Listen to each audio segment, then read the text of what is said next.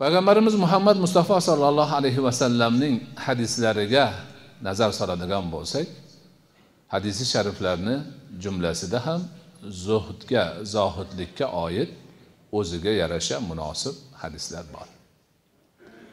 O'sha hadislarni birida payg'ambarimiz alayhissalotu vassalom aytadilarki inni kuntu nahaytukum an ziyaratil quburi fa ammal ana fazuruha fa innaha tuzahhidu fid dunya va tuzakkirul akhirah man sizlarni qabrlarni ziyorat qilishdan qaytargan edim.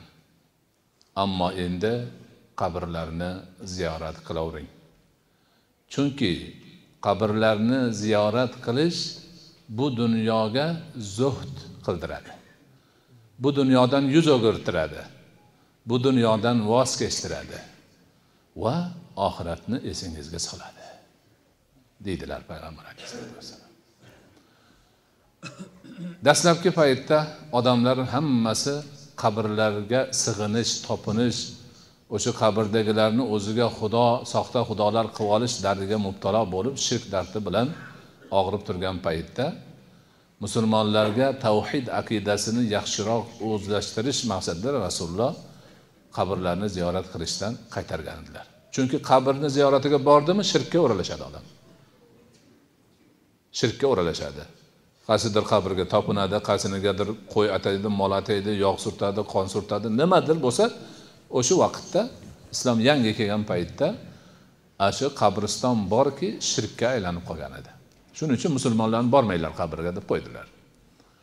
Vaqt soat o'tib mo'min musulmon bo'lgan shaxslarni qalbida tavhid aqidasi tamakkun topib mustahkam joylashib tavhid nima shirk nima hammasi aniq bo'lib uncha muncha shirk yoki boshqa narsalarni ko'rinishlari musulmonlarni adashtirmaydigan vaqtga kelganda keyin shu hadisni aytdilar. Man avval sizlarni qabrlarni ziyorat qilishdan man qilgan edim endi qilinglar. Buni foydasi bor. Bitta foydasi ziyoratchi qabrlarni ziyorat qilgandan keyin bu dunyoga zohid bo'lib qoladi. Chunki borib ko'ribdi dunyoni so'ragan podshoh ham yotibdi. Ilmi bilan hammani og'ziga qaratib yurgan olim ham yotibdi. Kurashda hammani yiqib yurgan pahlavon ham tuprog'i tagida yotibdi. Beva bechora ham o'sha yerda kambag'al ha muhtoj ham o'sha yerda.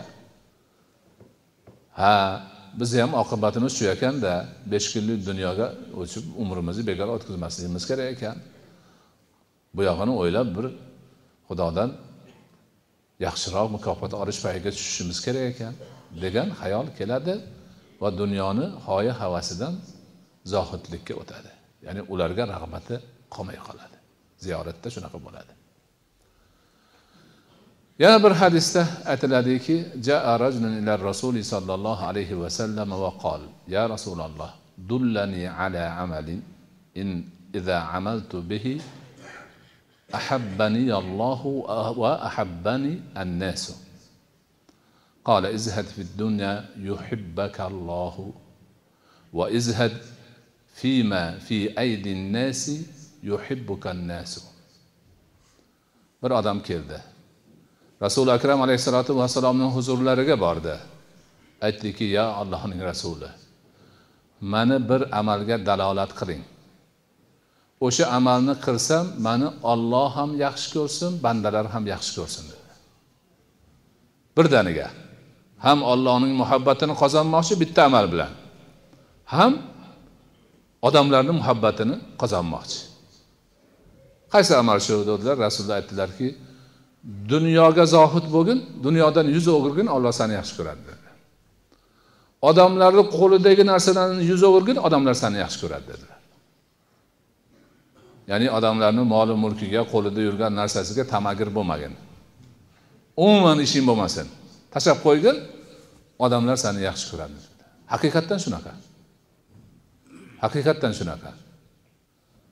Ana? Kim?